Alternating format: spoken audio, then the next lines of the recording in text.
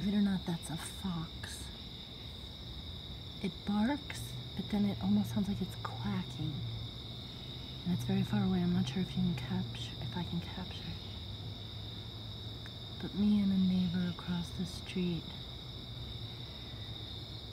were convinced there was a lost puppy stuck up there, like maybe a homeless person. And so for months we've been listening.